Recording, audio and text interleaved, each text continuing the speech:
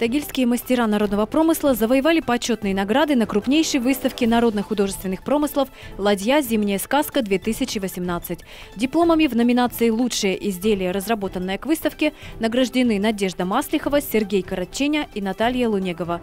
Тагильские умельцы принимали участие в выставке в составе Свердловской делегации. Стенд нашего региона был выполнен в стилистике сказов Павла Бажова и выстроен в виде улицы мастеров.